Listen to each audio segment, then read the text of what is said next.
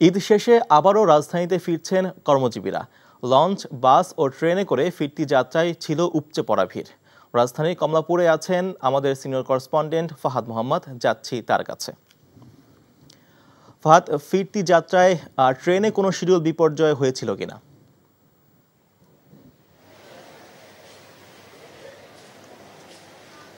সাগর পরিবার, পরিজন নিয়ে ঈদের আনন্দ ভাগাভাগি শেষে রাজধানীতে ফিরতে শুরু করেছে সাধারণ মানুষ। যাত্রাপথে ট্রেনের কিছুটা শিডিউল বিপর্যয়ের কারণে ভোগান্তির শিকার হলেও ফিরতি পথে কিন্তু ট্রেনের খুব একটা শিডিউল বিপর্যয় আমরা সকাল থেকে দেখিনি।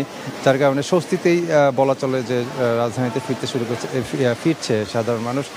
গত রাতে ঢাকার রাজধানীর ছাড়, বাইরে থেকে যেসব ট্রেন ছেড়েছে সেগুলো প্রত্যেকটা ট্রেনই নির্দিষ্ট সময়ে কমলাপুর রেল স্টেশনে এসেছে কিন্তু শুধুমাত্র একটি ট্রেন, যেটি চিলাহাটি থেকে রওনা দিয়েছিল, সেটি পৌঁছার কথা রাজধানীতে ভোর ছয়টায়, কিন্তু সেটি এখনও সাড়ে সাতটা বেজে গেছে, কিন্তু এখনও আসেনি। এই একটি মাত্র ট্রেন ছাড়া কিন্তু প্রত্যেকটি ট্রেনই সময় মতো কমলাপুর রেল স্টেশনে এসেছে যার ফলে আমরা বলতেই পারি, এবং সাধারণ মানুষের সাথে কথা বলেছি, তারা বলেছে যে খুব স্বস্তিতেই তারা ফিরেছে ট্রেনে করে রাজধানীতে।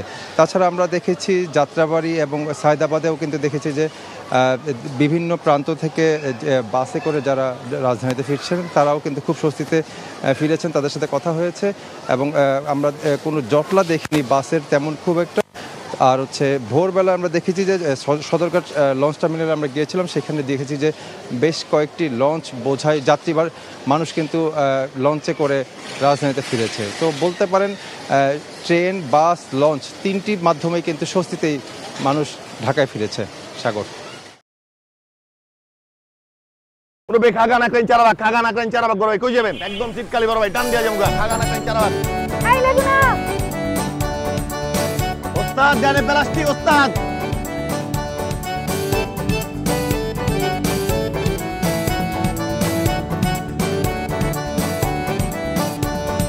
আপনার বান্ধবী আসেনি আজকে?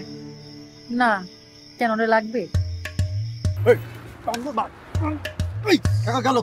হে পৃথিবী তুমি আমাকে ক্ষমা করে দিও। কইছি না বাপ তুইলা কথা কবি না। কইছি না একবার কলিজার টাইন আছে মা মা কি হইছে? আমার আমাদের মতো মানুষের এসব দেখা শোভা পায় না। উনি আমার কাছে আসছে। কাস্টমার আমি পাশেই আছি। ঠিক আছে? আমি তোমার গতরটা ভালোবাসি। আমি তো মানুষ সুইটিরে ভালোবাসছি।